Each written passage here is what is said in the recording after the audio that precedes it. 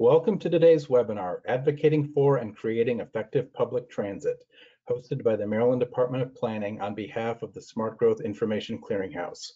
My name is Michael Bayer. I am Manager of Infrastructure and Development at the Maryland Department of Planning and Project Manager for the Smart Growth Information Clearinghouse. The Smart Growth Information Clearinghouse is a project of the Smart Growth Network, supported by the US EPA's Office of Community Revitalization and managed by the Maryland Department of Planning. In addition to hosting webinars, the Smart Growth Information Clearinghouse has a website, smartgrowth.org, that provides current information on effective growth, development, and preservation practices. The website provides news and information about events, funding opportunities, awards, and resources to help local decision makers foster healthy, resilient, and economically vibrant communities. The Clearinghouse is also the virtual home of the Smart Growth Network, a nationally recognized coalition of leadership organizations that have formally endorsed the principles of smart growth. This webinar is one in a series of webinars produced by the Maryland Department of Planning on smart growth and planning topics available for viewing at smartgrowth.org. We are recording this webinar and will post it on our website in the next couple days under the Webinar Archives tab. We encourage you to visit the website and to subscribe to our e-newsletter to get smart growth news and information and to learn about our upcoming webinars. You can also learn about planning initiatives, planning tools, and educational opportunities in Maryland by visiting the Maryland Department of Planning's website at planning.maryland.gov. Viewers of this live event are eligible to receive one and a half CM credits from the American Planning Association and 1.5 CNUA CEU self-reported credits from the Congress for the New Urbanism. To log your AICP credits, visit the American Planning Association's website at planning.org, log into your account, and search for the name of today's event, which is Advocating for and Creating Effective Public Transit. You can also search for event number 919 9985. Would also like to acknowledge our partner today, Island Press, and their partnerships manager, Jen Hawes. Founded in 1984, Island Press's mission is to provide the best ideas and information to those seeking to understand and protect the environment and to create solutions to its complex problems. Participants of today's webinar are eligible for a discount on books in the Island Press catalog by visiting islandpress.org and using the code webinar. So to get started, our speakers today are Christof Spieler and Steven Higashide. Christof Spieler is Vice President and Director of Planning at Huitt-Zollars in Houston and a senior lecturer at Rice University. Christof was a member of the board of directors of Houston's Metropolitan Transit Authority of Harris County, or Metro, from 2010 to 2018.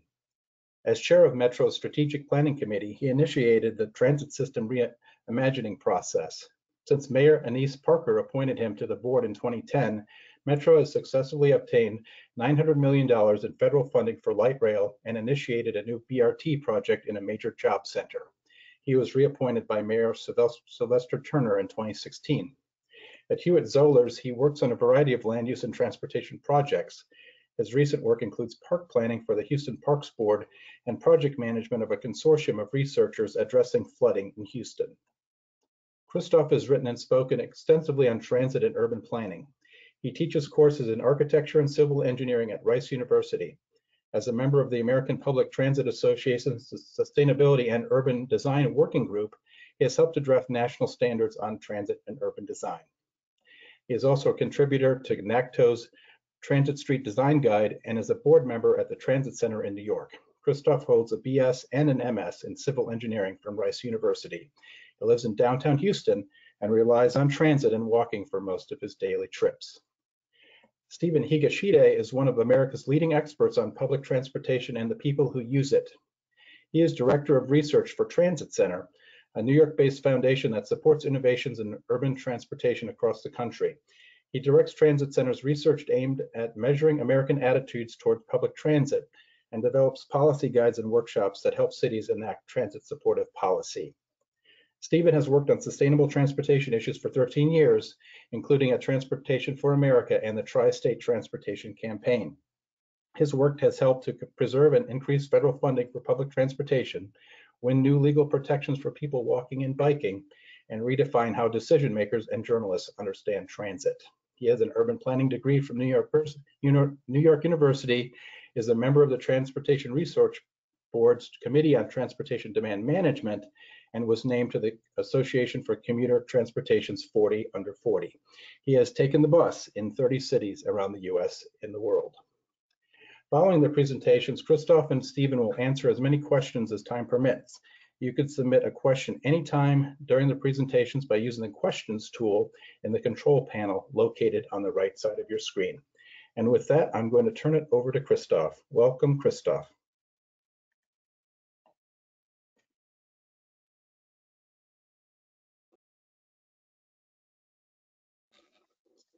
Hi, I'm very happy to be here and talk about the book and talk about transit, and I'm really looking forward to the Q&A afterwards.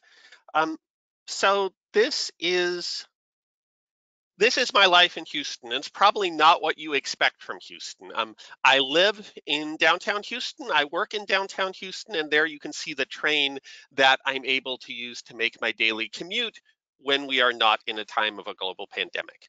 Um, and the reason I care about transit is fundamentally that transit makes better cities. As Jarrett Walker would say, transit has an inherent geometry which works well with livable urban places. If you look at this street in Houston right here, the, all of those cars you see on the right added together hold about 40 people in them, and the train on the left holds 400. Transit has inherent space efficiency, which you really start to realize when you realize that the average office worker has less space in their cubicle than their car has in the parking garage.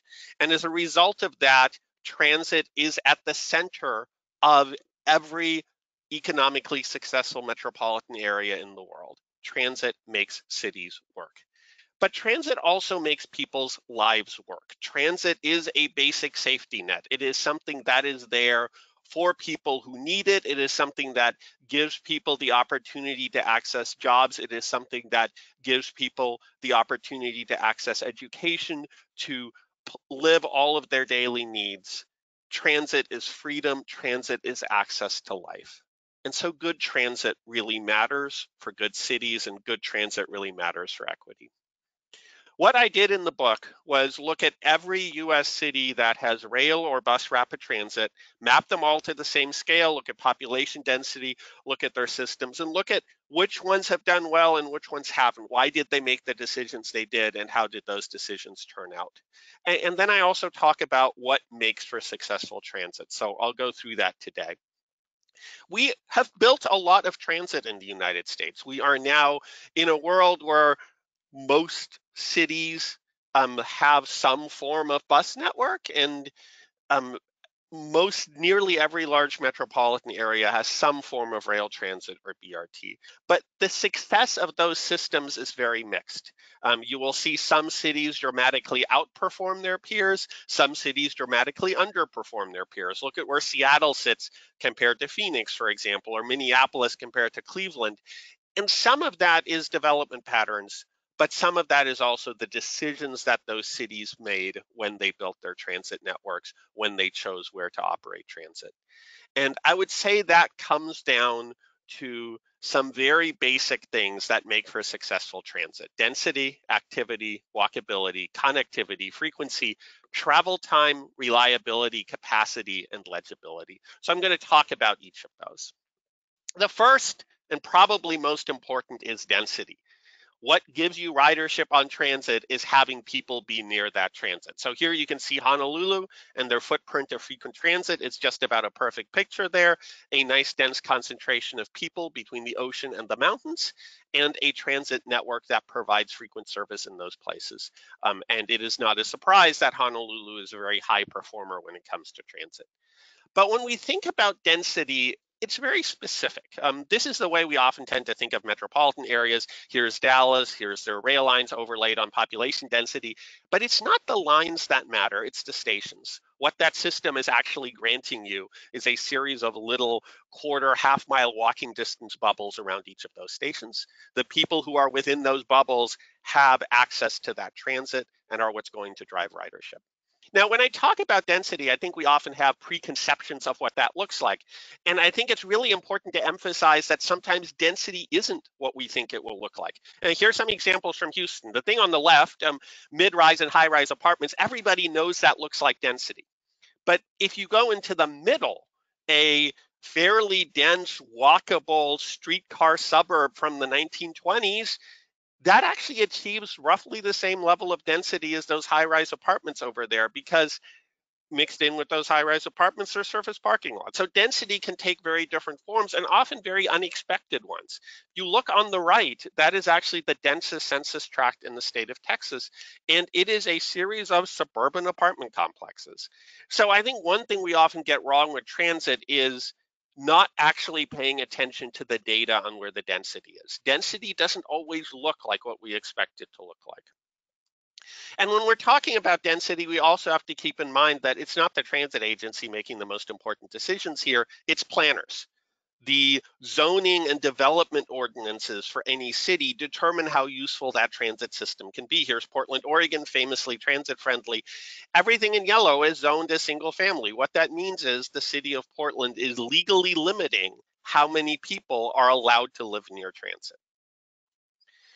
But it's not just population, it's everything else we do. It is the centers of activity in our cities. And again, these take very different forms. Here's a couple of examples in Houston. We all know that downtowns are major centers of employment and activity, and nearly every transit system focuses on serving those downtowns. But there's a lot of other centers as well. We can think of suburban employment centers, like here you can see Uptown in Houston. Um, a lot of cities have multiple nodes of employment. Another really big one is hospitals, major drivers of employment, major drivers of trips, and often not very well served by transit. And the same goes for universities. It's interesting if you look on the right, the university doesn't even show up in the density chart because students is not something we map in the census. But guess what? Students travel just like workers do.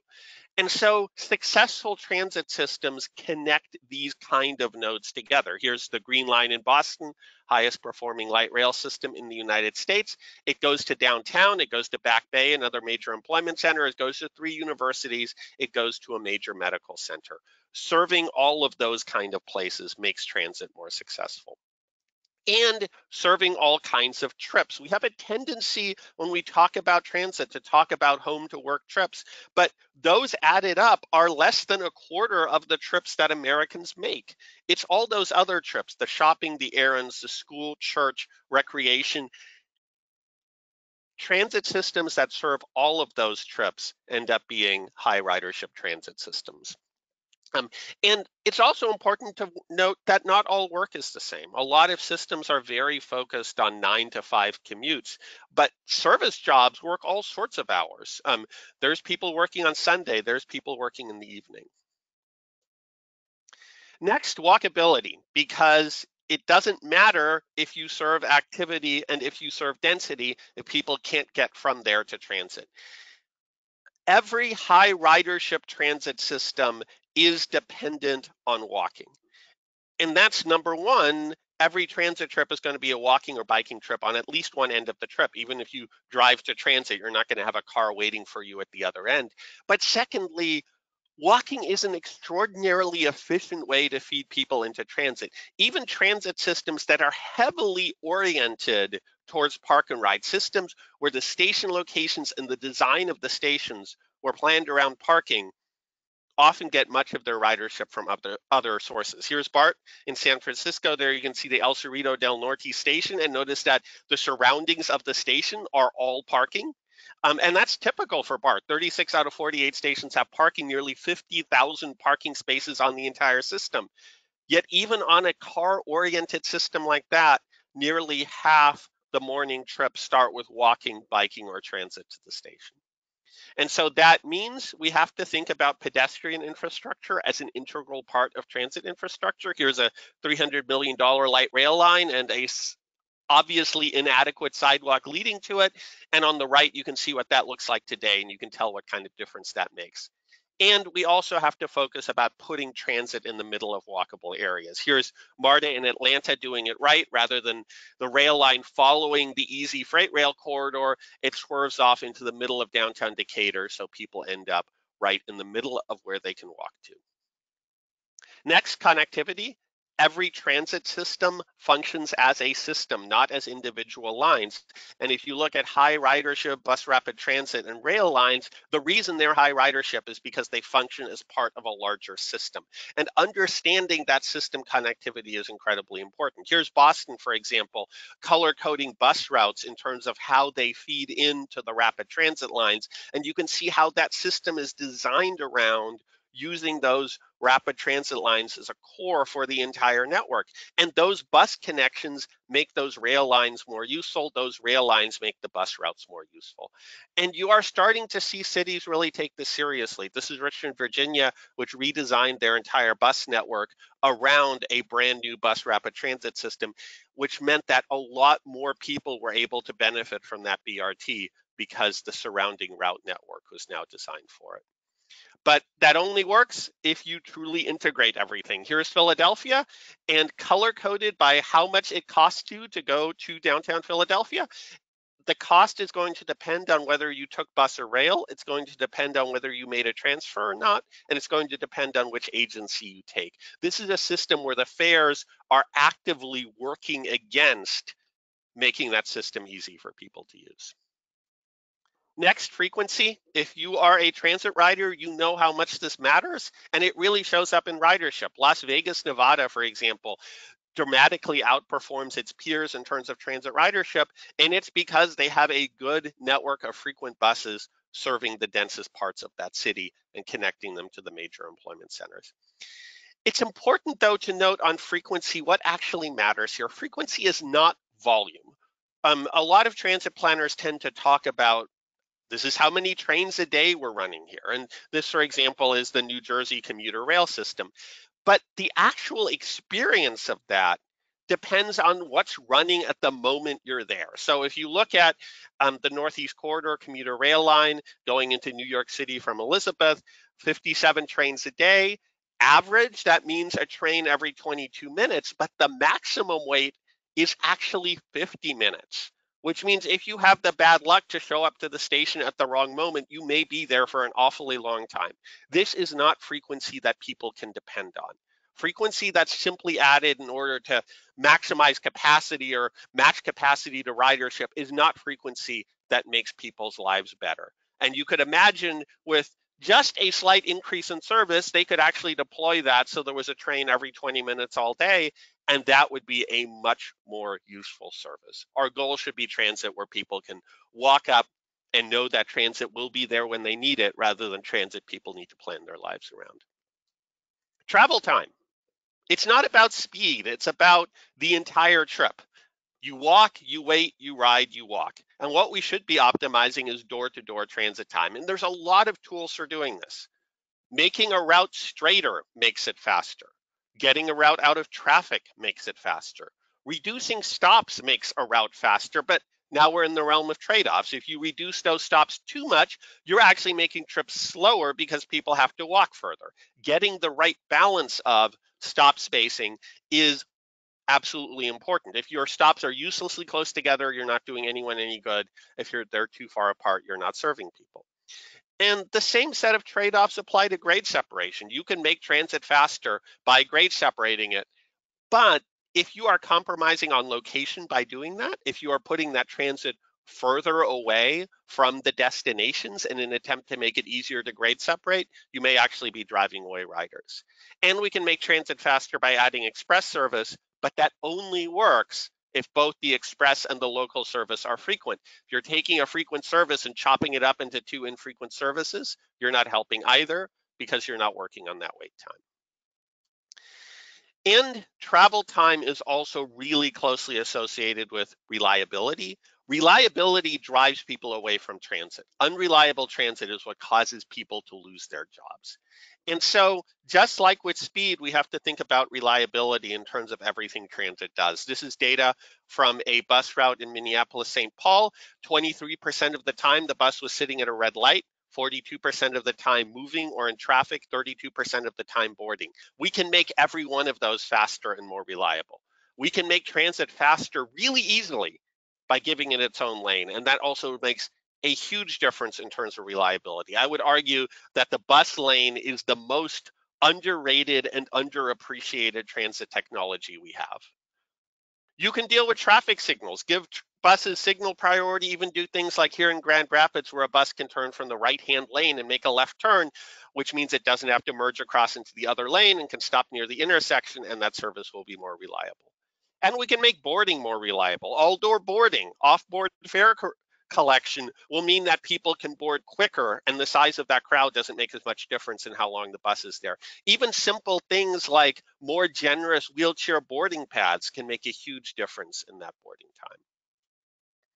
Capacity. We talk about capacity when it comes to transit far too much. It turns out transit actually has huge capacity. Here is the comparison of a single occupant vehicle lane in a city with traffic signals compared to the capacity ranges of local bus, BRT, light rail, heavy rail. Um, and you can see with the local bus range, we can get many times the capacity of a standard vehicle lane with transit most of the time capacity should not be the driving issue. It should be things like reliability and speed and comfort. But there are those moments when capacity really matters. Ottawa just converted um, from brt to light rail because the downtown streets were the major bottleneck on their brt system and putting light rail in a tunnel lets them carry two times as many people per hour. Um, and so one thing that's really important for transit agencies to do is understand where their capacity needs are. Um, figure out where the high ridership corridors are, focus on upgrading those. But when we talk about upgrading, that doesn't necessarily mean you spend billions of dollars. One of my favorite approaches to transit is what the Germans have articulated as Organisation vor Elektronik vor Beton, which means organization before electronics before concrete you have to solve a transit problem, if you have a capacity problem, for example, the first thing you do is see how you can operate better. The second thing you can do is see what electronics you can apply to make it function better. And only if those two don't work, you start building concrete. A really good example here.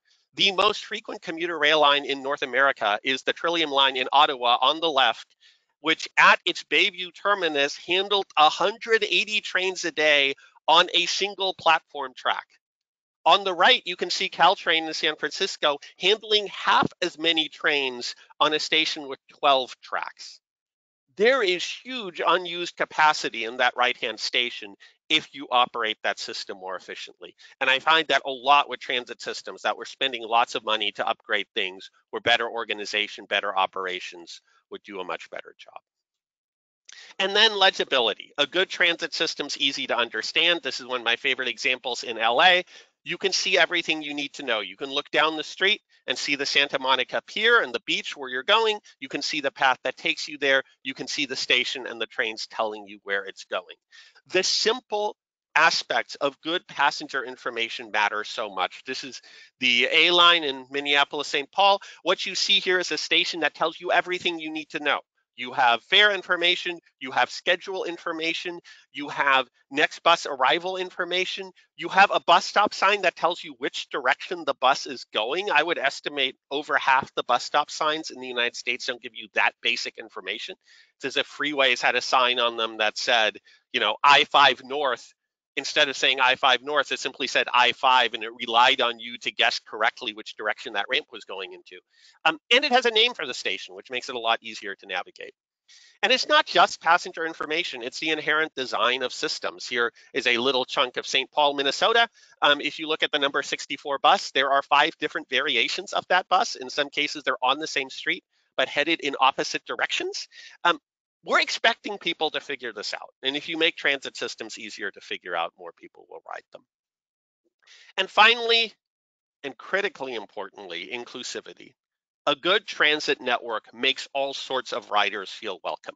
And that means obviously a good transit network is accessible. It means if you're in a wheelchair, you can get on that. And sad, sad to say, we can't rely on that yet. The New York subway has tremendous issues with accessibility. Um, it also means other things like stroller policies. If you're trying to board a bus with a stroller, most transit agencies expect you to fold the stroller, which means you're going to have to have one hand for your stroller, one hand for your kid, and a third hand, which I guess you don't really have, um, tapping the fare box with your fare card. A better stroller policy, which would just let you roll on board, makes that transit system more welcoming. And this is where concerns of equity and concerns of race also become critically important. You've seen this with transit agencies that try to enforce proof of payment fare systems with armed police officers. And if I'm an upper middle class white man, I'm going to be a lot less concerned about that than if I live in a historically over policed minority neighborhood this is also part of why it's so important that transit decision makers reflect the diversity of the transit systems that they plan. All of this is really simple. If you ride transit, you know these things already. But if you look at transit in the United States, you will see that there's a huge range of ridership among systems with the same technology. Some cities have spent their money and gotten a lot and some cities have spent their money and gotten very little. Transit planning is actually really simple. I, have said before that you look at a city, it's actually a bar graph of density. All you have to do is get on a hill and you will see the places you need to connect. You look at population density, you look at employment centers, um, and then you draw lines between them. But in reality, we are not very good at this. Um, this is light rail running through cornfields in St. Louis. This is not a high ridership light rail line. And in fact, if you look at where we have built rail transit, you will notice that often those lines actually avoid the density. I, this looks a little bit like airliners dodging thunderstorms. Um, and you can see in city after city, we're putting transit where it doesn't do the most good. Why is that? First of all, we have way too many arguments about bus versus trains. We have way too many projects which start of with a goal like our city needs a light rail line rather than a goal like we have a dense corridor from point A to B that we want to have more frequent or reliable service in. We plan single purpose transit. We talk about things like commuter rail and plan it for very specific groups of users, like white collar professionals who work nine to five in Manhattan, rather than planning transit, which is useful for a whole different mix of people. That's what makes transit high ridership. We hurry through system planning. The decisions about which parts of the city to serve don't get nearly as much attention as the details of each individual line. And that is the most important decision. Which corridors you're going to serve matters more than anything else. We don't think about networks. We plan things as individual lines rather than as a part of an interconnected network. We don't use data. We have an awful lot of information about where people live and where people work and where people are riding. And far too often, the decisions instead are made based on hunches, are based on decision makers' preconceived notions of what a place looks like. We think at too large a scale. We have a tendency to design transit lines that look impressive on a map, but often those really long far-flung lines are not the ones that'll get us ridership and focusing in the core and the denser areas will have a much greater return. We think about paths, not destinations. We think about building along existing freeways and rail lines, but say you're building along an existing freight rail line like this one in Dallas, it's likely going to be surrounded by things like warehouses rather than destinations that people are going and we avoid opposition. Hmm. This happens on all sorts of scales. Here's an example in Houston where the fight was, do you build the rail line down the middle of a busy street in the midst of all of the major destinations, or do you build it along an abandoned railroad right of way? So this happens in the big decisions, but it happens in the little ones too. Here's riders in San Francisco boarding a light rail train by dodging around parked cars because the local residents did not want to lose four parking spaces and convinced their city government to have a completely unsafe light rail stop in order to save their parking that's benefiting four people a day. It comes up whenever we think about making decisions on bus routes. Are we going to simplify a route in a way that benefits the most riders? We're not good at having these decisions, and often really good proposals get killed in the politics of how we discuss them. And things get killed for all sorts of reasons. Why are these people in New Orleans at the biggest transfer hub in the city? Why don't they even have a bus shelter? Well, it's because of the politics of determining where a center city transit hub might be located.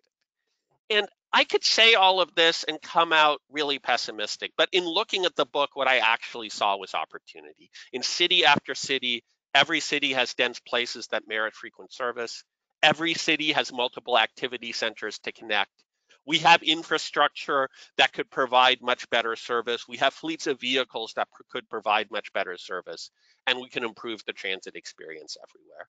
And it goes back to where I started with the basics of what transit does well. And now you might say, I've only mentioned COVID once. And how does that change the world? How does this virus we are living with right now change everything? And I would argue that in a lot of ways, it doesn't change what we've talked about. None of the truths we just articulated change. I don't think land use patterns are going to change that dramatically. I don't think that the way people move about and where they're trying to go to is going to change that dramatically. We are in the midst of a short term crisis for transit but I would argue that we should not lose sight of our long term goals. And I would also say that as we are thinking of how to respond to this crisis, realizing the basics of what makes good transit is more important than ever. Right now, transit is keeping places in New York running by getting those essential workers to where they need to go. And as long as we do that, as long as we focus on not trains and buses, but focus on the people who use them, we can make better transit that will help people every day. And with that, I will pass this off to Steven.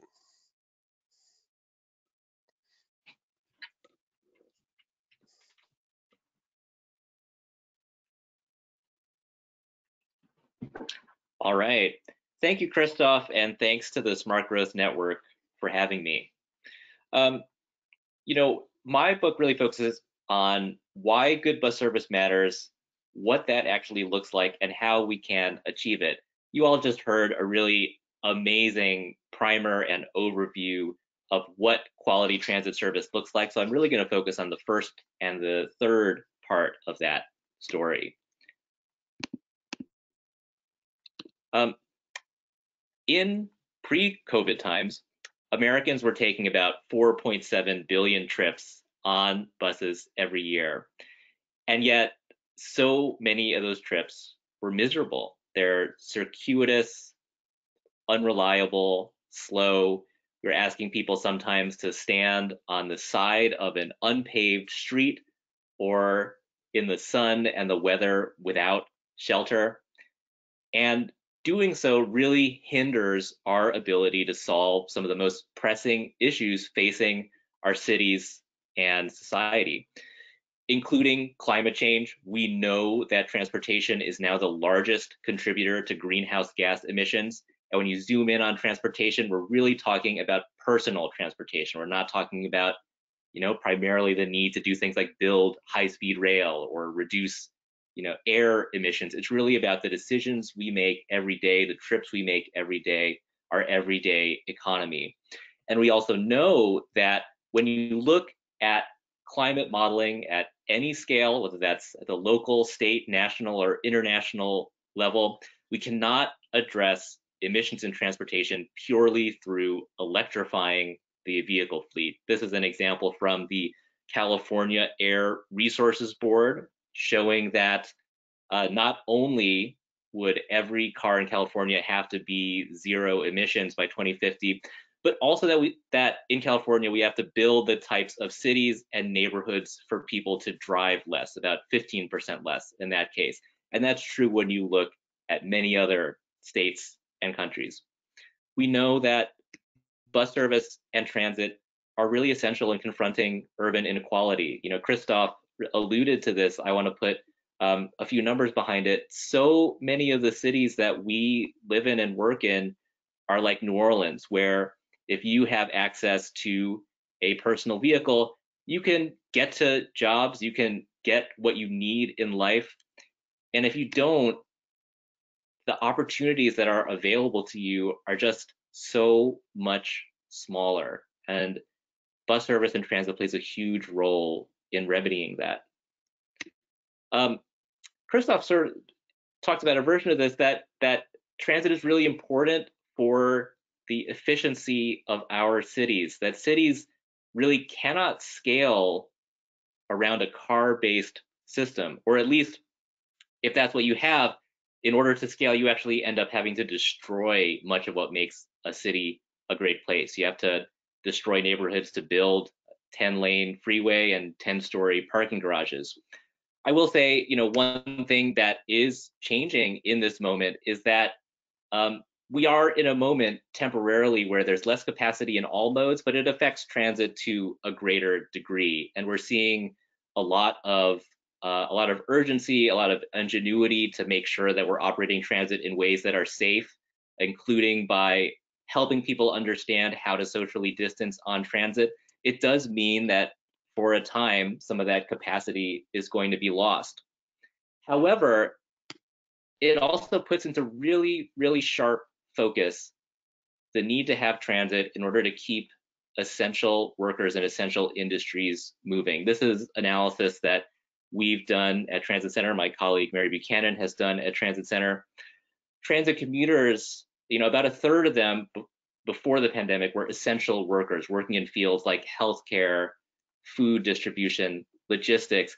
These are now the folks who are making up the majority of transit riders. And they are more likely to be low income, more likely to be people of color. It's just really, really clear that in this moment, transit is part of the public health response to the pandemic, and we can't shortchange it because shortchanging it means shortchanging our societal ability to withstand what is happening. Um, Christof really did a great job of uh, providing the outlines of what makes effective bus service. I'll just I'll just note that you know in the book I talk about a lot of the research that underpins uh, what makes these attributes so important for transit riders, and it really is simple. We know how to do these. We know how to use techniques like redesigning our bus networks, putting bus lanes on the street, providing great shelters. We know how to do all of this, and yet so often we don't see it on the ground. So often when we try to improve transit, we see things happen like really strong opposition from homeowners and businesses, sometimes expressed in the most uh, classist and racist terms about why transit shouldn't exist in their neighborhoods. We see that transit and transit riders are marginalized in our political processes, whether it's at that neighborhood level or when you zoom up all the way to the federal level and you look at the amount of funding that is provided, or you look at the fact that state departments of transportation essentially get blank checks to spend their federal funding on road projects, whereas very often transit agencies have to go hat in hand to the voters. That's a huge structural difference, and it says a lot about whose needs are centered in the politics. Um, and so, so much of what I wrote about in the book was trying to tell the local stories of places that have successfully reformed transit and trying to help um, help us sort of understand that it's really not enough to understand the technical aspects of what makes transit work, understand the we have to understand the networks of power and how to build it and how even as you know, even professionals in the in the public sector, there's a lot that public sector professionals can do to help build power for reform. Everywhere I looked and everywhere I spoke to people, and those included places like Miami, Houston, Indianapolis, Seattle, anywhere where I saw real transformative change in transit, it happened through alliances across sectors. On the one hand, outside advocates, social movements, civic organizations. On the other side, really motivated champions inside the bureaucracy, inside public agencies, as well as support from elected leaders. And there are ways in which each of these groups can pressure and support all of the others to make better transit happen. Um, I, you know, I, I, talk about examples that have to do with all of the the, the fundamentals that that were mentioned, whether it's you know walking, walkability, frequency, affordability. In this presentation, I want to focus on uh, sort of apply these lessons to one aspect of transit service planning that's really important in this moment, which is transit priority, speeding up transit on the street. So often, um, when we are planning a bus lane corridor project, the process to do it has been set up in a way that's very similar to a highway or transit mega project. This is the this is the 16th Street Northwest Bus Lanes project in Washington D.C., which is was has been talked about since 2009, but actually is not even on the ground yet. So it spanned multiple presidential administrations, and this really puts both transit riders and transit agencies on the back foot in a lot of ways. We're asking people to um, show up for multiple rounds of public meetings. We have to go through 30% design, full design, final design. What does that mean from a power perspective? It means that it is actually really hard to do equitable engagement, really hard to reach out to the kind to the people who will benefit for this project because the folks living in this neighborhood, they may not even be there in five years. Why are they going to show up for year after year of public meetings when we know from experience that these are dominated by more privileged stakeholders, often who are frankly harassing, obnoxious. It's not something that is easy for public agency staff to go through, and it's certainly not easy for transit riders to go through. And the media often picks up on that as well.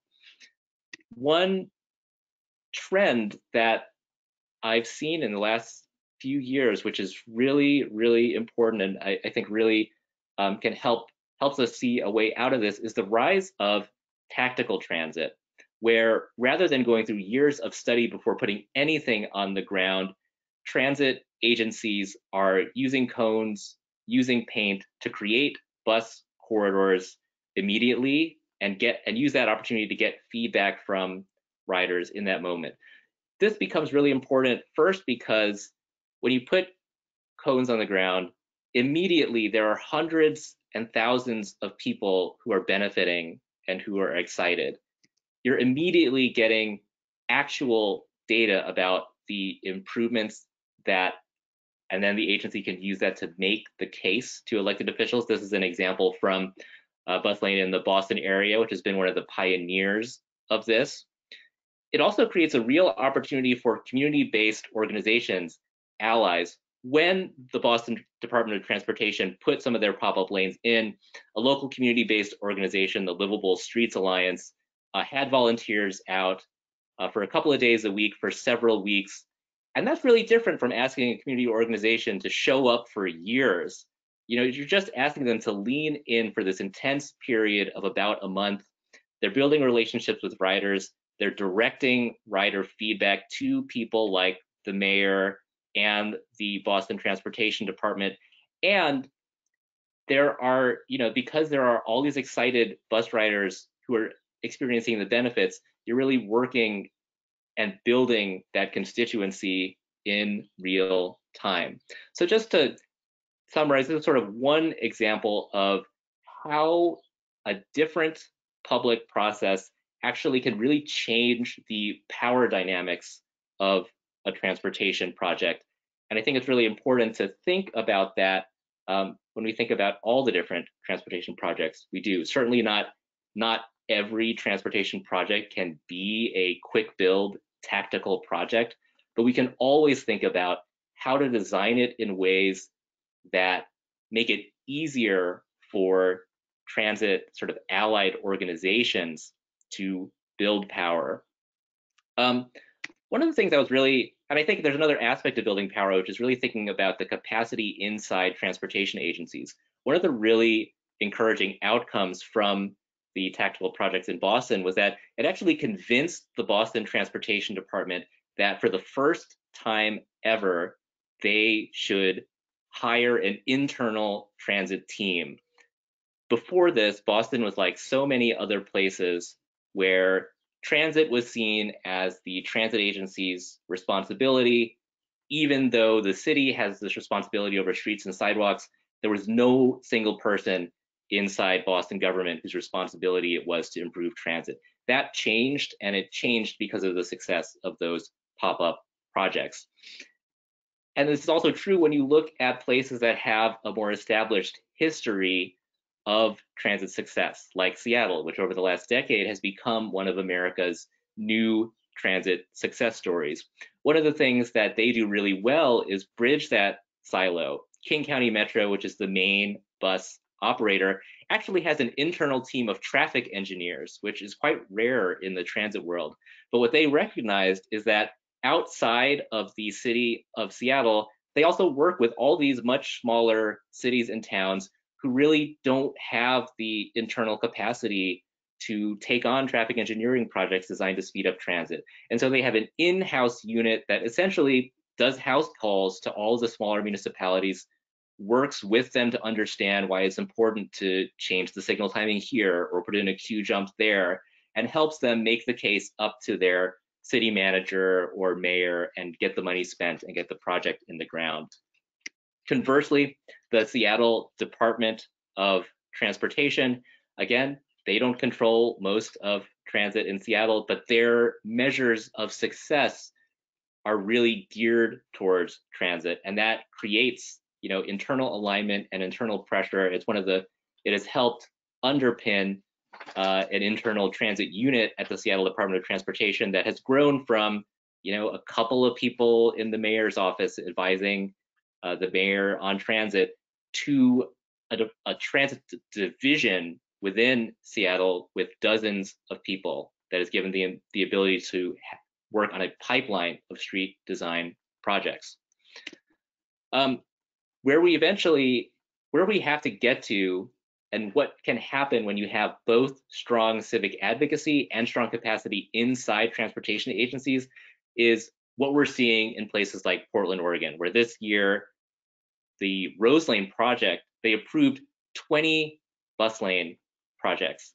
We have to get out of the mindset of having one BRT project every five years and instead get to a place where we are continually improving transit performance on the street city-wide. And that's really important in this moment. Um, one of the examples that I keep thinking about comes out of San Francisco. You know, frankly, it's a moment that came out of triage. So I'm not quite sure if it is a model, but I think it's really instructive for the situation that we're in. The San Francisco Municipal, uh, you know, Transportation uh, Agency has had so many transit operators call out sick or have to isolate that they were really facing this need to cut back dramatically on service. But what they did was not apply uh, an across the board cut they were really guided by data in focusing what service they had on the core transit routes serving essential trips and essential workers. And really importantly, they were also guided by an equity strategy that they had developed a few years before, informed by a lot of conversations with local advocates. Um, they had already made it a priority to prioritize service in neighborhoods with more low income people and more people of color. And so being prepared in that moment, having done the work, allowed them to work really rapidly, rebuilding the entire transit network over the course of a weekend to create this core service. And now they're looking ahead to the recovery. And you know, this quote is from Jeff Tumlin, who's the director. You know, we have to make it sure that this essential transit network is never stuck in traffic again. That these, it's time now to focus on bus lanes, bus bulbs, other street design elements to make sure that as traffic comes back, we don't consign essential workers to unreliable and unsafe transit, which you know is an urgent need. We are seeing if you there are now several data sources. What's on the right is uh, from Apple Maps, and I'm showing it for Chicago, but it's actually true if you look around at other at uh, other cities in the US, cities in Europe, cities in Asia, that driving is recovering while transit use is plateauing in this moment. I think it's really, really important for cities everywhere to get ahead of this and carve out space for transit now. Um, just to, to, to close, you know, one of the, whenever I'm invited into a place and asked to speak about power and transportation, I always ask these three basic questions. Um, in many, you know, some regions have really strong networks of transportation advocacy groups. In other regions, there is much less of a history there. And I think in those situations, it's really important to to ask ourselves, you know, in some situations, maybe it's not what we think of as a traditional transit advocacy group. Maybe it is a maybe it's faith-based leaders. You know, churches have ended up being incredibly important in winning expanded bus service in Indianapolis and Richmond, Virginia, for example. And you know, we have to speak to our partners in the philanthropic world and ask whether we are focusing on systemic change. Uh, I look around at the transit advocacy groups that we work with at Transit Center and the transit agencies that we partner with. When I compare it to other sectors like housing, for example, we don't have as many networks, and those networks aren't as well resourced. That's a really important role for philanthropy to step in. And we still have a situation where, you know, in many parts of the country, um, foundations are spending more on propping up essentially basic government functions and not enough on systemic change. This is an example from the Kresge Foundation in Detroit, which, for example, has spent tens of millions of dollars literally supporting the construction of a streetcar while not spending nearly as much on advocacy, which could make a huge role in winning a regional transit system. And, you know, I, I think that from what I've heard, this has changed more recently, but I think it's an important example to bring up.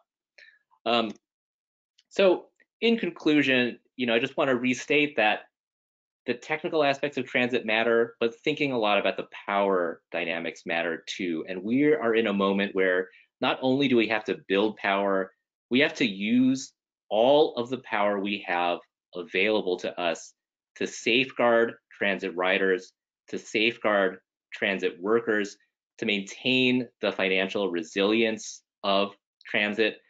We cannot respond to the COVID crisis in ways which hamper our ability to respond to the climate crisis and the crisis of urban inequality. If we get through this moment and build transit back even stronger, you know, we'll be doing a better job for our cities and the people who live there. So thank you, and I'm really looking forward to the discussion. Great, thank you, Steven. I'm wondering if we want to go ahead. We did have a poll question today. Do we want to go ahead and ask that before we get into the Q&A? Asking you, I think it was your question, Steven, about transit use. I think it was uh, it was actually Christof's question. I'm certainly fine with asking the uh, the poll Okay, question. so Why don't we go ahead and run that poll? This will give us some information here. So the poll question up here, in a normal world, how often do you ride transit? And the responses are daily, Monday through Friday, a few times per month, a few times per year, and never. So we'll give everybody a chance. Yeah, we had some information on the on on the the roles and demographics of who's attending. I was really curious how many frequent transit riders we have. Okay, so give everybody a couple more seconds to respond. The responses are coming in. I'm watching those. So once we close that, I'll read the response and then we'll go into the, the, the next section.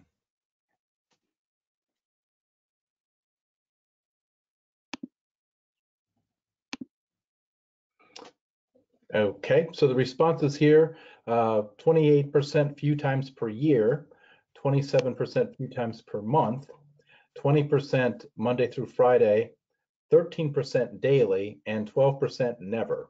So quite a quite a split there. And I'll note when we ask a question like that, it's I- I don't think that question is about personal choice. I would bet a lot of the people who are answering that they rarely or never ride transit, that's a reflection of whether where they live or where they work, transit is a good option for them. Um, I think for the most part, transit ridership is based on whether we're providing good transit as an option for people, not a personal choice. And I think when we talk about it as a personal choice, we're actually doing a disservice to the policies discussions we need to be having. Great. Okay, so we'll ask uh, both Christof and Steven to turn on their webcams as we move into the uh, Q&A portion. So, and throughout the webinar, we have been getting questions, in fact, quite a number today uh, from the audience, and you can continue to submit them as we move into the discussion, and we'll go to about 2.30 and maybe a little over if we run out of time. Um, I guess to start, if, uh, Christof and you and Steven want to kind of respond to each other's presentations a little bit. Um, before we move into questions from the audience? Yeah, I mean, I'll Oh, start with my response to Steven, which is I think he's focusing on the most critical thing here is it is very easy to visualize what better transit looks like. Actually making it happen is incredibly hard. And I love that advocate perspective on on ultimately making change happen involves changing the conversation. Um, and that that's actually where I came from. I I was appointed the Houston Metro Board as a result of writing a blog. I, I came from that advocacy world and I got from that world into a decision making world. Now I'm in a consulting world and I've realized how much those worlds work together, how good agencies do good things because they have advocates on the outside, both pushing and supporting the agencies, but also holding those agencies accountable. And there's a huge difference in the transit networks in cities that have well organized advocacy and a strong political conversation around transit and the ones that don't. And so ultimately, if you want your city to have better transit, it's important for you to be one of those voices that makes that happen.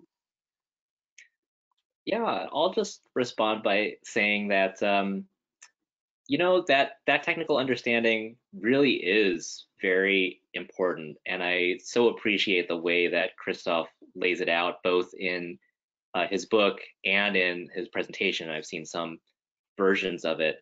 I do think that I, when I was maybe a younger advocate, or when I look at uh, less experienced advocacy groups, sometimes there isn't quite as critical an understanding, and there's this much more, um, there's a sort of more simplistic understanding that spending money on roads is bad because it's bad for the climate, so spending money on transit must be good. And it actually really matters a lot how you spend it, where you put the corridors. I think that there is an element uh, you could you could say that you know every transit planner needs to understand a little bit about advocacy and power, and every advocate needs to understand something about transit planning. No, no, it's it's it's it's amazing to me how many misguided things I've seen. I've I've seen in a case where a local Sierra Club chapter responded to a sprawl-inducing rail line that literally would raise carbon footprint and cause development in undeveloped areas, and their only complaint about it was this doesn't have enough parking spaces. Um, and and that's coming from a place of people who are genuinely trying to do the right thing but really don't understand the dynamics of what they're dealing with. And i also see that a lot with advocates that you see you see a lot of sort of defensive advocacy framed around preserving the status quo which is very understandable since i think often transit advocates have had to deal with agencies trying to make things worse. Um, but the kind of advocacy around save the number 68 bus is usually not the advocacy that will actually result in a better transit network. And and the advocacy groups I've seen are really proactive and active. They have agendas and they clearly frame those agendas, engage on a level than one individual route or one individual decision. Okay, thank you. I will note that we did get a number of comments about the poll questions, kind of looking at some of the nuances. A couple comments of saying that they would ride more transit in their home areas than if it were more available, and they do use transit more when they travel. Uh, a couple others would take transit if it was more convenient and frequent.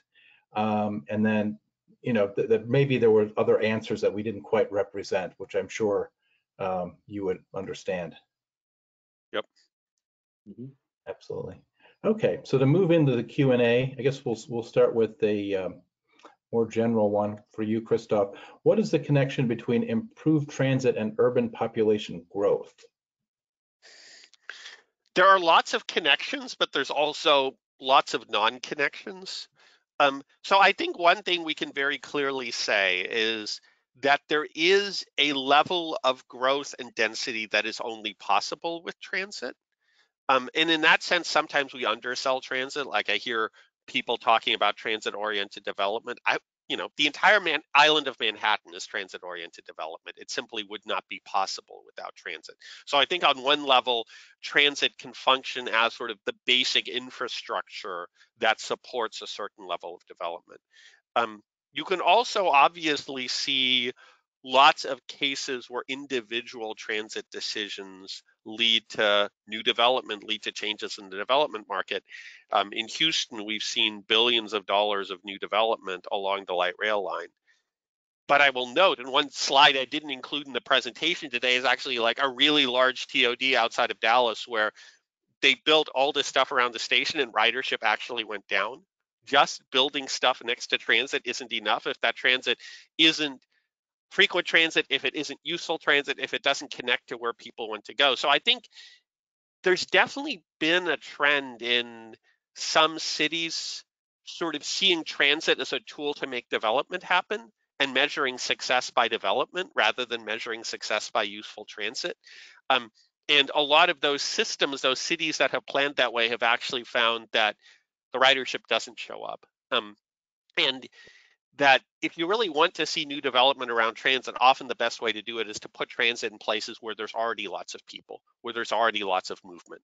The the the the development follows transit shouldn't be an excuse to literally build transit through cornfields. Um, and it goes back to I think a really important discussion is what is your goal in building transit? Because I often find that transit systems absolutely accomplish their goals and part of the reason why low ridership transit systems are low ridership transit systems is ridership wasn't actually their goal. Um, like I, I, think Dallas is a good example where fundamentally their design goal was build as many miles of rail as possible and serve as many cities as possible. And they reached that goal admirably. Ridership was not one of the goals. Um, and, and so I think thinking about what we're trying to accomplish is incredibly important and realizing again that land use decisions are integral with transit, that what the rules are for building around transit. And When you see cities that, for example, require the same number of parking spaces in a development built next to a transit station that they do on a development built on a freeway frontage road out in the suburbs, clearly in those cases, those development regulations are working against making that transit more useful. Steven, okay. I don't to add to that. Uh, you know, we talked about the uh, the non connections. I think one thing that's really obvious in a lot of the places that are um, very transit focused right now is that transit can't transit by itself doesn't solve the housing crisis that is also really constraining yep. growth in places like the Bay Area and New York, but seemingly in in many many places. And we are, I think, transit professionals really are seeing the suburbanization of poverty and the displacement of some of the most loyal users of transit. And dealing with that is very difficult if transportation is the only tool you have to address it. Yep. That there's such a relationship between transportation and housing and affordable housing. And, um, you know, I think uh, transit advocates, what that means for us is doing a lot of work with housing advocates. Yep. Okay, thank you. Uh, next question is, what advice would you give to communities where transit as a shared value isn't appreciated or well understood? The examples you cite here are mostly the usual suspects, coastal cities with a different mindset. How can we get a new wave of communities on board? Um, yeah, go ahead. I'm sure. Yeah, I'm sure. I'm sure Christof has some some thoughts on this, but um, a couple of examples that I wrote about and didn't spend too much time talking about in the presentation were uh, Indianapolis and Miami. And you know, you might serve Miami as a coastal city, but it's it's not a place that has a huge transit culture. Um, I think in both of those places, advocates were extremely effective in framing the benefits of transit not necessarily as something that every single person was going to use. You know, you're you're not going to win over someone like the head of the Chamber of Commerce by claiming that, oh, you know, suits are going to ride the bus in, in Indianapolis. But there was an incredibly effective coalition in Indianapolis that included on one side business leaders and on the other side progressive faith-based activists who talked about the fact that lack of access to transit was making Indianapolis a place that was less fair and also a place where businesses didn't have access to the workforce they needed. So making that argument that transit is really important for the overall health of the city. I think we really see that in the in the in the COVID era where it's so obvious that transit is keeping essential industries running, but that was true before the crisis. That transit played a huge role in in uh, access to workforce and, and not just in the you know millennials and talent way, but in the types of industries that actually keep uh, cities going. So it a lot of it has to do with framing. And you know, just one other thing I'll add. Um, I was recently looking at some polling about transit in Nashville, which had a really high-profile failure of a transit tax at the ballot. What was interesting is that the so much of the argument for transit that you know boosters were making was about attracting talent, making Nashville a world-class city. If you actually look at some of the polling that was done, what really resonated with people was this idea of providing service for people who didn't have a car, for older riders. Even in a you know in a place like Nashville, it really actually really resonated this idea that we have to provide mobility for everyone. Yeah. No, I mean I I am very much not coming from a um, from an elite coastal city background here. I'm coming from Houston, and Houston is very much a car-based city. Um, but Houston has major transit success stories. We um, have a park and ride commuter bus network that is so good that of the people who work downtown and who live in the suburbs served by that network, half of them choose to ride the bus. Um, we have a light rail line that's one of the highest ridership per mile of any light rail line in the United States. We reorganized, reimagined our local bus network in a way that ended up inspiring New York City. Um, I, I think there's a lot of potential for transit in a big range of cities. And it's a part of the density discussion too, that we have a tendency to sort of average cities. We have a tendency to, in our mind, think of Houston as low density and New York as high density. But the reality is there are dense places in Houston and there are very low density places in the New York metro area. No city is one size fits all. And I think part of what successful cities do is they identify the place it will work. Um, and this there. Um, and in a funny way, I often actually find that some of the best transit decisions are not being made in the cities we think of as the best transit cities. Like I would, New York is a poster child for that. I think New York has one of the most broken political cultures around transit of any place in the world some of the worst decision making around transit of any place in the world, um, even though it is without a doubt America's strongest transit network. Um, and it's places like the Twin Cities, it's places like Seattle, where you see in places like Indianapolis and Richmond, Virginia, um, where you are seeing some really smart transit planning and some really smart projects.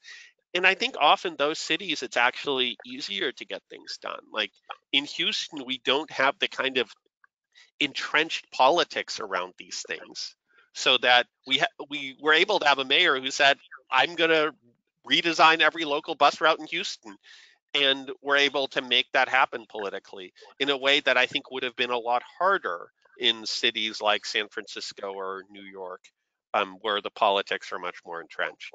Um, so what we're seeing in transit is we're seeing some real success stories in a huge range of cities.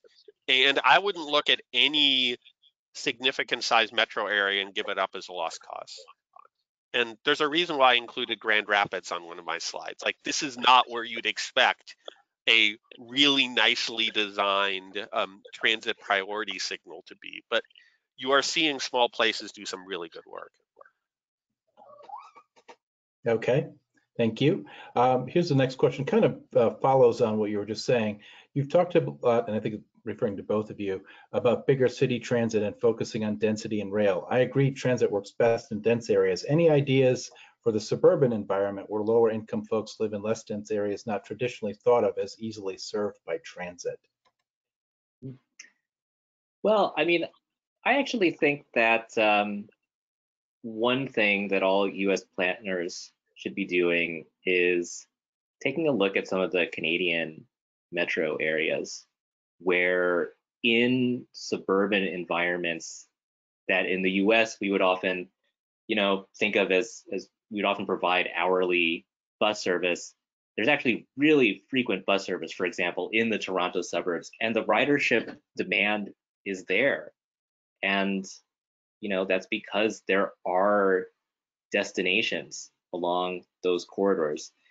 Um, I actually think that there is quite a lot of potential in the suburbs around the US to have more frequent service, whether that's in a legacy context, for example, if there's a commuter, like the commuter rail networks in the Boston or Philadelphia regions, but also just to provide frequent bus service. I think we would be perhaps a little surprised by the results.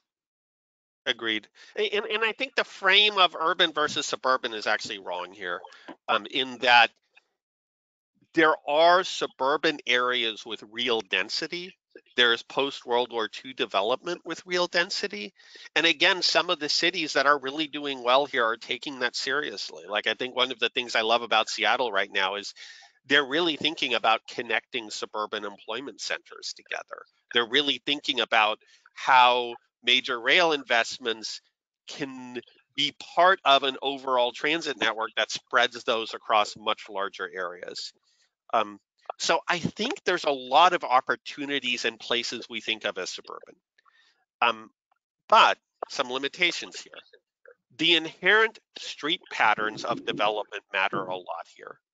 A cul-de-sac single family neighborhood will never work well for transit simply because the walking distances don't work that if you can't get a direct route from where somebody lives to their nearest transit stop, it's not going to work.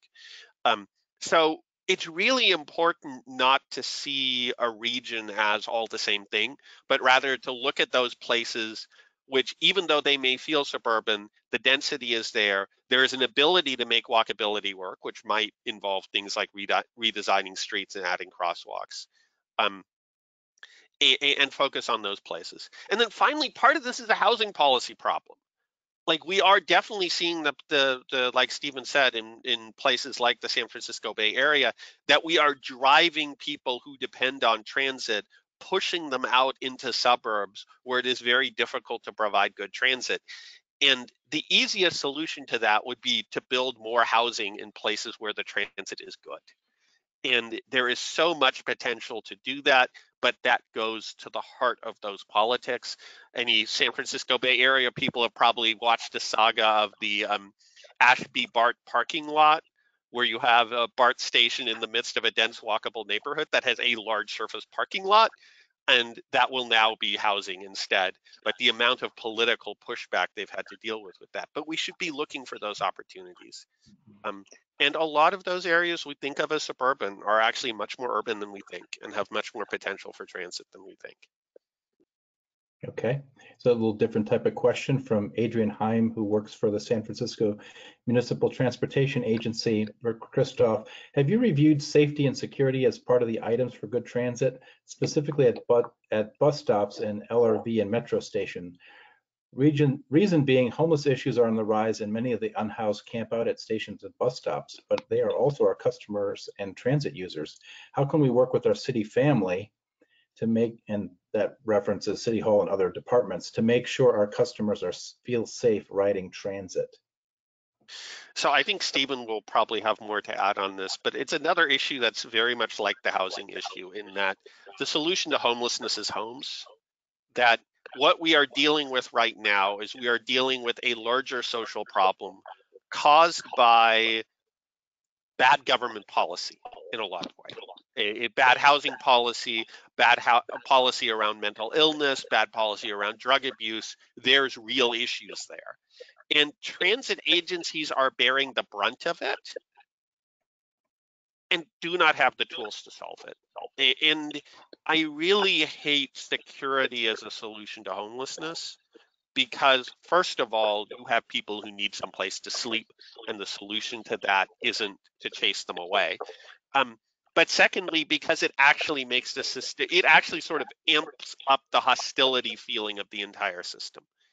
And you know, like the whole discussion of, of fare evasion, for example, where you see agencies almost armoring stations to prevent fare evasion.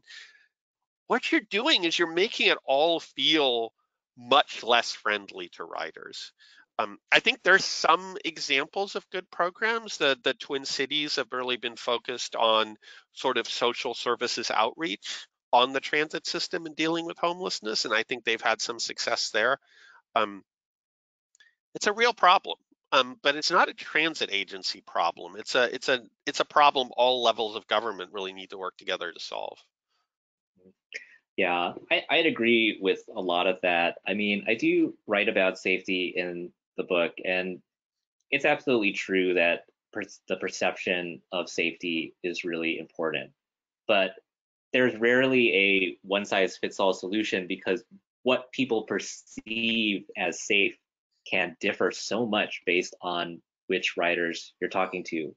You know, for some people, the presence of police makes them feel safe. For many others, it makes them feel less safe and it heightens anxiety.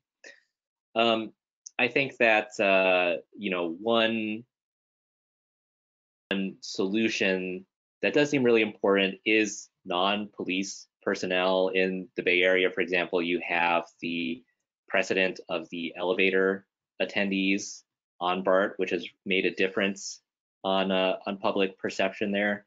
There's a lot of research suggesting that uh, perceptions of transit safety really have a lot to do with design and the built environment, things like whether there's lighting at bus stops.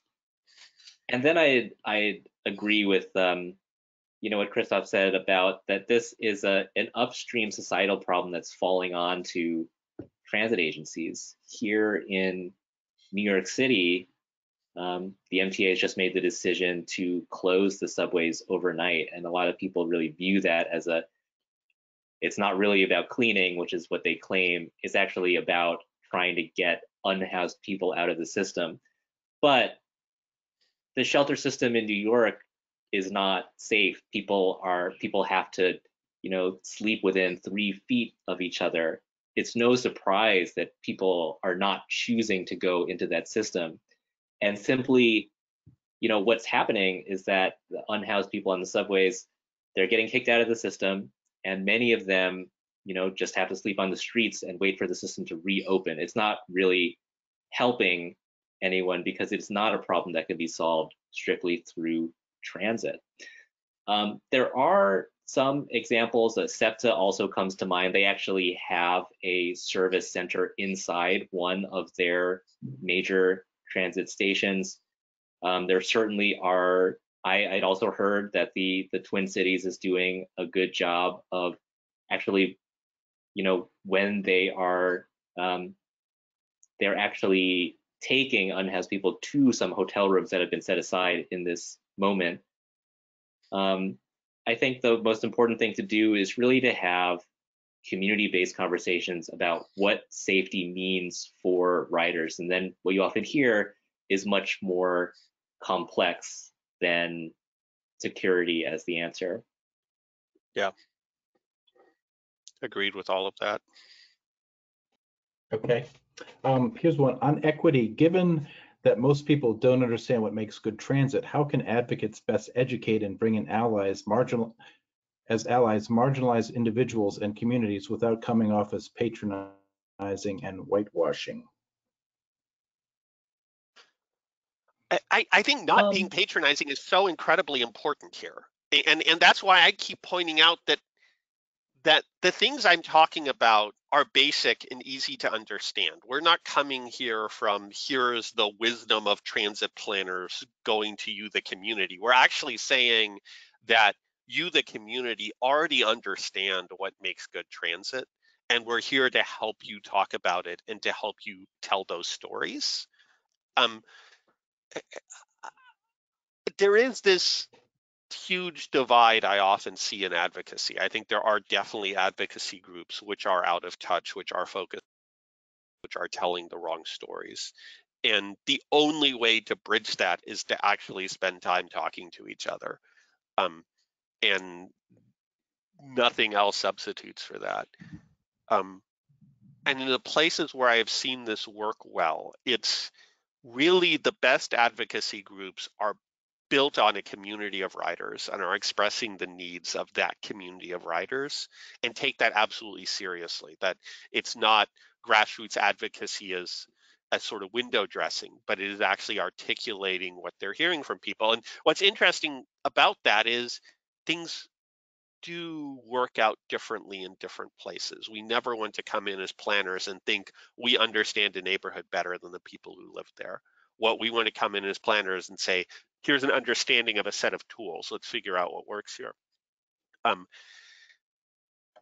but overall, like this is one of those divides we can overcome. Like this is this is one of those things where I think good advocacy groups can be enormously effective at amplifying the voices of communities which have often not been heard, which is a big part of the problem here is that a large portion of the people who ride transit are coming from communities where they're not used to government even caring about what they need.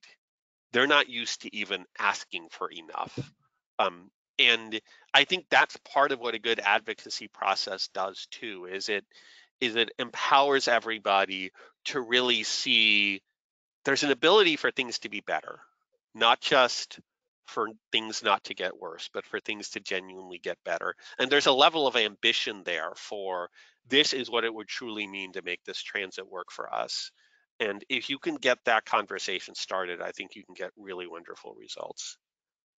Yeah, I just want to underscore one thing that Christof just mentioned there, which is that transit riders really do intuitively understand the problems with transit. And maybe not every rider is familiar with a solution like transit signal priority, but they're very familiar with the pro with a problem like a bunched bus yep. or that you know it feels unsafe to walk to the stop and then it feels unsafe to wait there. So it's really easy to just speak with people in to speak with people, you know, in in real terms and get a common understanding of the problem.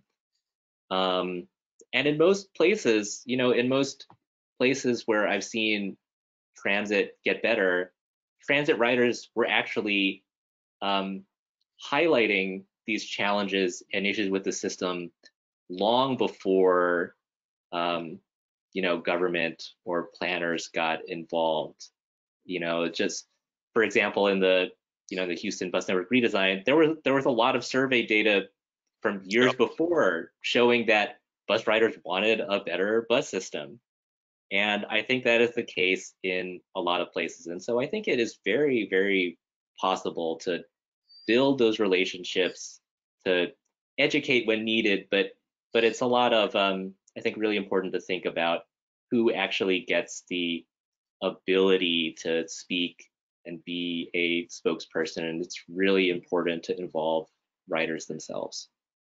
Yeah, and, and and genuinely listening. Like I think that example from Houston is such a good one because what the agency was doing was a long range planning process, sort of asking the question like, where should we build rail lines for the next 20 years?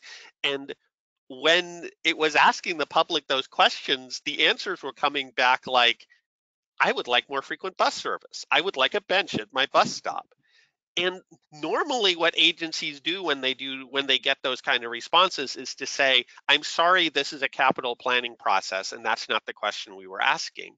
And instead what Metro did is these responses are telling us we're asking the wrong questions and that we really need to be prioritizing what we're hearing from our riders as what matters to them. And the interesting thing about that is ultimately it has led to the long range planning. The redesigning of the bus network in the end became the basis for a long range plan.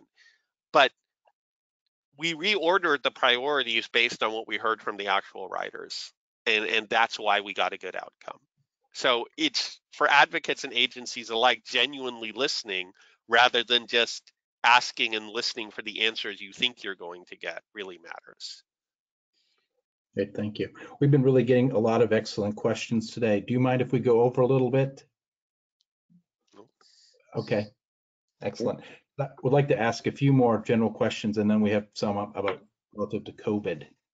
Um, so thank you for your examples of cities and transit agencies that are bridging the gap between transportation engineers and transit operations. Do you have any ideas of how structurally how to bridge that gap at state DOTs for transit on state right of way? Ooh. Hmm. It, it, there is, I mean, the divide between agencies is one of our biggest problems. Um, the, and, and this is frankly part of why US bus systems are as bad as they are um, because transit agencies like things like rail lines where they sort of control everything. And when it comes to making local bus service better, transit agencies have to work with cities. And often that's where things fall apart. Um, and the places where you're seeing these improvements happen, Steven gave the example of Boston, are cases where you're seeing these partnerships being created. But that means that transit planners and street designers and highway planners have to get together and start talking to each other. Um, and that, just like the advocacy discussion we just had, is not something that's going to happen automatically. Um, and I think there are some good examples in all of those places of staff who are making that effort to start those conversations and build those relationships um, and say, how can we work together? Yeah, I'm not sure if I have an answer, you know, specific to the the the challenge of state departments of transportation. I feel like what it often has tended to look like between cities and transportation agencies is first it starts with leadership commitment at both of the agencies that you know we have to coordinate on transit.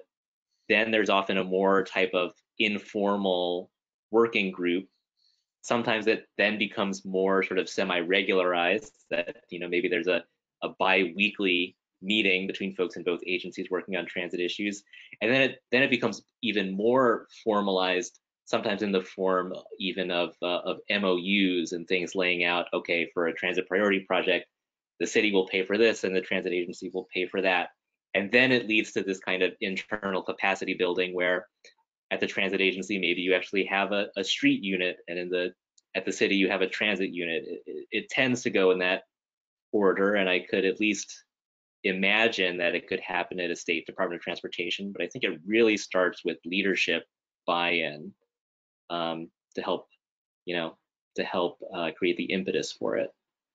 And I'll note, I mean, one thing that is happening at some states um, is that state departments of transportation are realizing that they have resources and expertise that can be of real help to mid-size and smaller transit systems. Um, and you know, you you look at a you know, you look at a state like Maryland, and obviously there's the big transit operations. There's, you know, you can talk about Baltimore, you can talk about the DC suburbs, but then there's, you know, cities like Frederick that have their own little bus networks. And often those small agencies don't have that level of capacity and sometimes state DOTs can actually do amazing work in both touching state DOT projects and saying, there's a bus stop here. Let's talk about what our statewide standard is for a bus stop. But also in working with those small transit agencies and finding opportunities to work together and finding opportunities for the expertise that the state has to be leveraged across these small agencies that don't have that kind of staffing, that don't have that kind of funding. And I think there's a lot of opportunities there. Um, and I see some states starting to do that. Um, but we shouldn't leave DOTs out of this discussion. Um, and we shouldn't leave the smaller agencies out of this discussion. Yeah, Virginia is actually a good example of that. My understanding is that, um, you know, when Richmond, they they have a bus rapid transit project there, and it's actually the state DOT took over a lot of the project management of that because they actually did have the transit expertise and they were able to, you know, do a better job of keeping it, you know, closer to time and budget. Yep. Okay. Um, next question. I'm curious about what the thresholds for justifying better public transit are. In my home borough of Staten Island, we're repeatedly told we're simply too small or not dense enough to justify better transit. Though it's the smallest borough, it's nearly a half million people with greater density than a city like Seattle. Are there thresholds, are these thresholds a moving target or are they relative in some way? I mean, there are some basic thresholds and there's been books written about, you know, what is the cutoff for fixed route bus service. Um, they're all generalizations to some extent. Um, but I mean, I would agree on Staten Island. Like, I would agree in that in a larger sense in New York metro area as well. That if I look in the book at the biggest gaps between what I mapped was frequent service, so a 15 minutes, uh, 15 minutes or better, um, like 7 a.m. to 6 p.m. Monday through Friday. And one of the biggest gaps I saw in frequent transit service in the entire United States was just outside the city limits of New York City and as well as Staten Island, um, where if you look on Long Island, if you look up in Westchester, if you look um, in Newark and the surrounding cities, places like Elizabeth and Orange, there's a transit service there. Um, I think sometimes the problem in a place like Staten Island is there's a tendency to jump to the big projects. I mean, there's been a lot of discussion of rail on Staten Island. You know, here's a North Shore branch, we should reactivate that. And so I would actually think that in a lot of cases that the kind of tools we're seeing smaller places use may be a lot more relevant there. Like let's let's look at bus lanes. Like let's look at more frequent service. Let's look at a at a street running BRT line.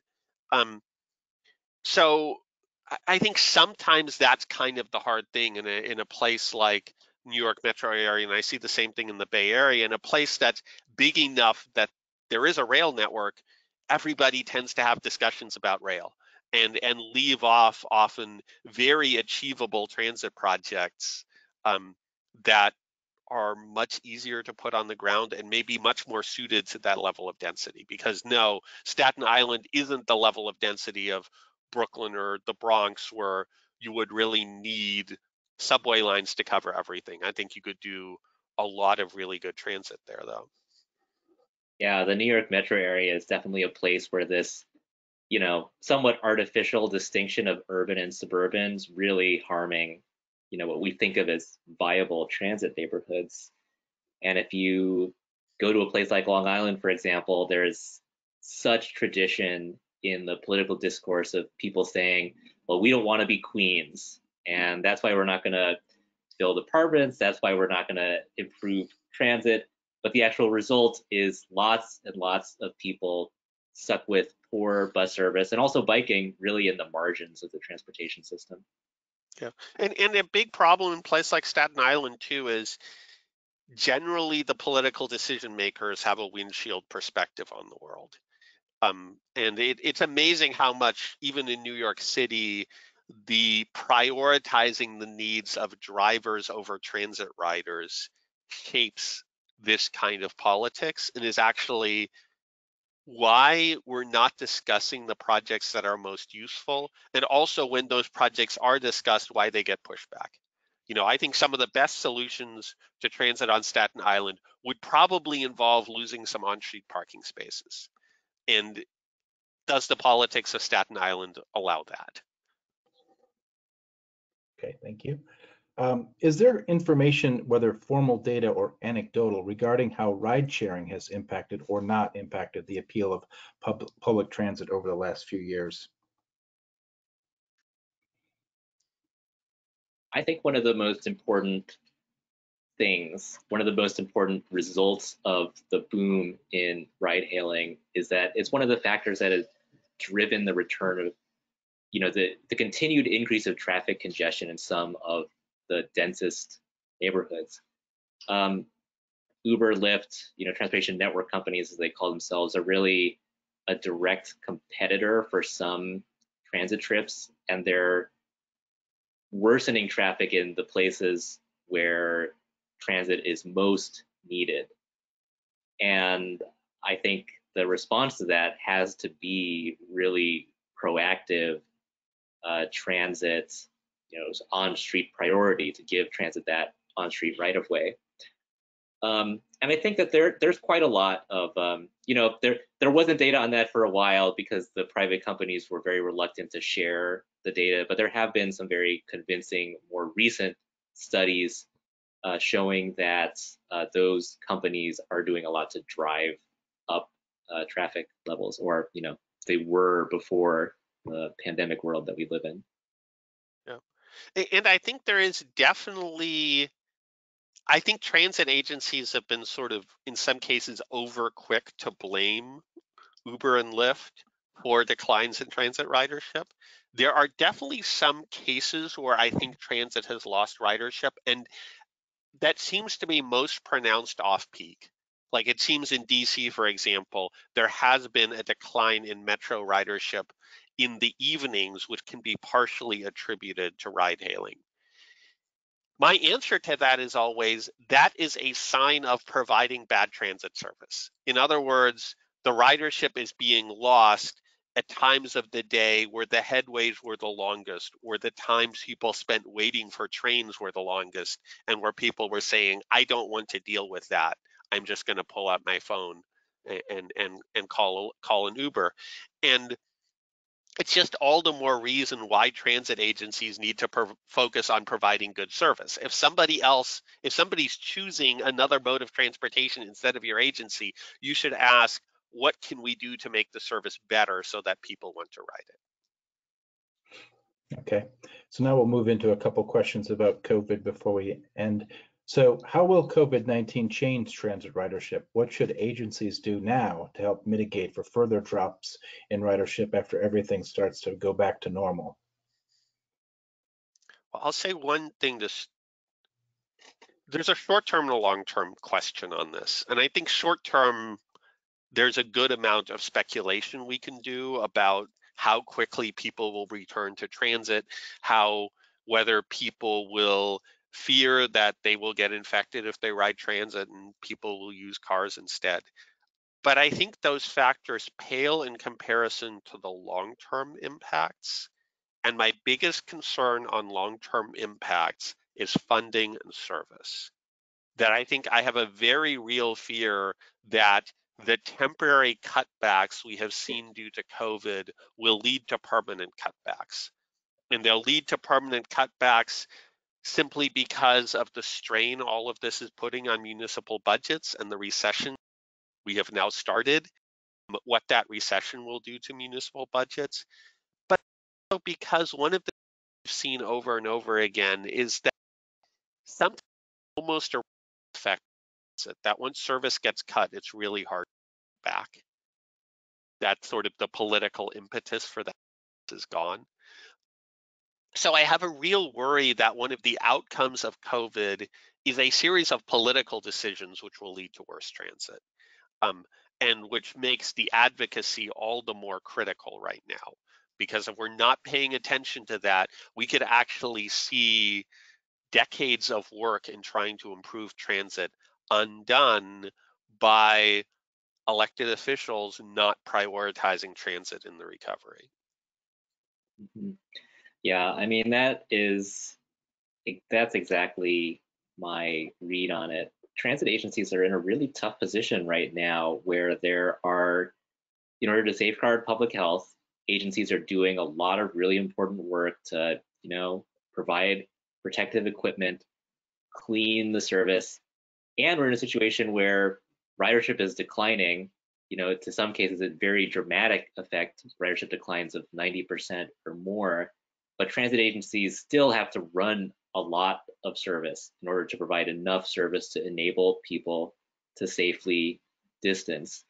And the federal government did provide uh, $25 billion for transit in the CARES Act. But it's likely that in a lot of major metro areas, that may only cover a few months of you know these levels of expenses and you know are also perhaps headed into an economic downturn that is really proving to us that a lot of the traditional ways that we fund transit, whether that's fares or you know sales taxes or other dedicated taxes, these are all really fragile. You know, it's a fragile foundation for service, and we saw some of that in the years after the Great Recession, where the years after that recession were marked by pretty severe transit cuts. We may be into something you know, we may be facing a future that's much more challenging than that unless there's a different political response. It actually is, I mean, it's a little bit encouraging to me that we saw such a, we saw this, um, you know, rescue funding for transit because there was nothing like that really in the Great Recession. Yeah. And so this is a really important precedent, but there's no guarantee that there'll be you know more of it coming, and it's it's it's certainly needed. Yeah, and I, and I, I think there is a real tendency to overestimate the impacts of tragedies and crises. Like I, I'm seeing a lot of sort of think tank thinking out there of maybe this will permanently pull people away from transit. Maybe people won't want to live in cities anymore. And if you look at the history of major urban just major major disasters in society in general that is not borne out. After the 1906 earthquake san francisco rebuilt itself. Um, 9-11 did not result in people stopping working in high rises or stopping flying in airplanes like plenty of people predicted that it would. Um, i think everything that makes cities work is still relevant and people this moment will pass people will still want to live in New York City. People will still want to live in apartments. People will still want to live in in in um.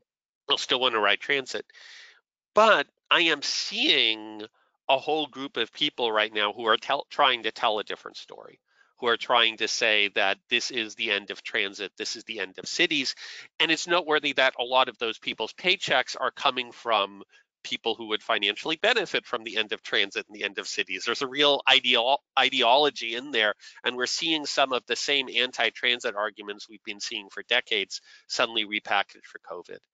Um, and so I think transit advocates really have to push back on that. And I also feel like it's incredibly important that transit agencies not adopt pessimism as their response. One of the things I think highway agencies are incredibly good at is highway agencies always keep marching forward. Like once there's a line on the map, in a highway agency's mind, that line will never go away. And highway agencies never have canceled projects; they only have postponed projects. Um, and ever, all of the planning that happened pre-COVID is marching forward. And you can make every bit of argument about, you know, what this does to traffic is what you can do to transit, but that's not the discussion that, that highway groups are having. Highway groups are having the discussion of let's keep going. Um, and so I think it's really important for transit advocates and transit agencies to still be thinking about a world with better transit. Because if we don't think and talk about that world, that world won't happen. I was really surprised to learn yesterday. I was part of an event with uh, Heather Thompson, who works for an international nonprofit, the um, Institute for Transportation and Development Policy. Uh, they are seeing that in some cities in China, transit ridership has actually already rebounded to 80% of pre-COVID ridership. And that is that really has a lot to do with confidence in the public health measures. Yes. And obviously there are things that that, that um, the Chinese government is doing that we probably wouldn't accept here, like uh, you know temperature checking at stations and you know sort of QR code system, but it, to that lets you in if you know, if uh, the the system you know sees that you are not um, not sick. Um, but it's just a reminder that a lot of this has to do with you know non-transportation issues, and that in the transit world we're dealing with a lot of challenges that have to do with upstream failures. You know, the sort of federal government failure to secure PPE, for example. Yep. And if we are able to do things like build out contact tracing, that'll have a lot that'll have a big effect on people's confidence level. No, and it's notable that some of the places in the world that have actually dealt with COVID the best are dense transit oriented places. Uh, if you look at South Korea, if you look at Taiwan, clearly transit isn't the problem. And clearly, um, transit can be part of the solution to cities continuing to function. Um, and I will say one other thing that just this crisis is, I think, happily done is spotlighted the people who actually operate transit. Being a bus driver is one of the hardest jobs in the world. It's an incredibly difficult job. It's a job that has real risks even before COVID. Um, and it's so incredibly important to the functioning of our cities. So I do hope that all the transit advocates are are taking this chance to to be thankful for the people who actually keep these systems running and are right now are literally risking their lives to keep these systems running. Thanks, Christof. So on that note, as a last question, about trans transit advocacy. What impacts to transit advocacy, if any, do you anticipate as a result of all of this? Hmm. The thing that I worry about is that even before the crisis, you know, it, it's it's always a it's a struggle to work for nonprofit organization to work on advocacy issues. And even before the crisis i was worried you know as someone who works for a foundation myself that um, i'd really like to see more foundation interest in in structural change in advocacy for transit as an environmental solution as opposed to the incredible emphasis that often exists on electrification. Um, some of the groups that I profiled in the group that do some of the most amazing work really are shoestring organizations. And I think that um, for us in the foundation world, now is is really a time to try and, and, and lean in and, you know, make sure that these organizations can keep going. On the more optimistic side, one thing that I've directly observed is that this moment is creating new coalitions and new partnerships. And a lot of it actually does have to do with labor. You know, Christof noted that this moment is really spotlighting the role of transit operators and transit workers, we are seeing a lot more cooperation between transit unions and transit advocates. And of course, there are a lot of things where there's common there are common interests for both riders and workers. So I think that is, um, you know, that's that's encouraging. It's something that we will need both in this moment and beyond. I don't really think I have anything to add to that. I think that was a really good answer. Great. Well, thank you both. So as we um, end today, uh, we have posted your Twitter handles on the Q&A slide, so anybody who has any other questions can reach out to you that way or by email. Do, do you have any closing thoughts based on all of the ground we covered today? Hmm. um, I mean, I, I guess um, you know it's funny sometimes. I feel like this is something that Christof have actually said when I because I did interview Christof for the book. That um, you know, on the one hand, uh, winning transit change is, is a lot of work and it requires a lot of people working together. And at the same time, as an individual person or as a group that's maybe just a handful of volunteers, you really can build the power to change the conversation about transit in your city. I've always found that really encouraging. Yeah, I, I will echo the same thing that in city after city, the story of making transit better is the story of a handful of people in a variety of different positions who passionately care about this and who just keep pushing. And it's a whole lot easier than you think. Um, and what makes good transit is not us sitting back and saying somebody will take care of that, but us standing up and demanding to be a voice in that conversation and thinking about everything we do as an opportunity to make the places we live in better. I mean, what what I love about transit is if you get this right, you can make tens of thousands, hundreds of thousands of people's lives better on an everyday basis.